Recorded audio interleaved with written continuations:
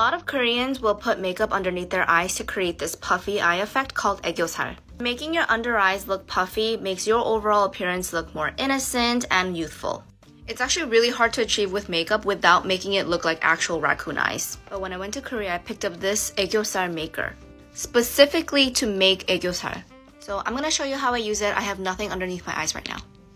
You take this brown shadow part in order to find your natural line, you're going to kind of smile a little bit and start drawing.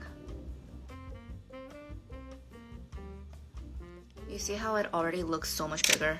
And then the other end of this liner has a shimmer side and you're just going to fill in the middle. You see the difference with aegyosal and without? Gonna do the other eye. Leave the name of the product here.